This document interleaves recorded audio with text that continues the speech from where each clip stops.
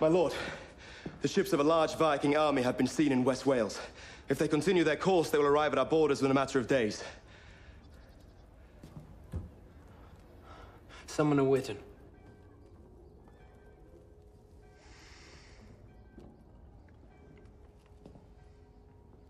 Who are they? We think they are Danes. They've sailed from their base in Dublin across to Cornwall with at least 300 ships. You've talked to the Witan. You've talked to your nobles. Are they prepared? Mm. How many warriors can they put on the field? About 2,000. The Danes will have a thousand more warriors.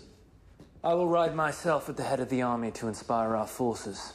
I also believe that I have some good commanders. The Danes won't be frightened to see you at the head of the army. Believe me. And why do you say that? I have a terrible habit of telling the truth.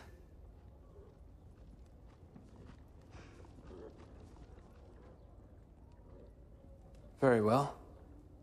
Then what do you advise? I advise you make me the head of your army.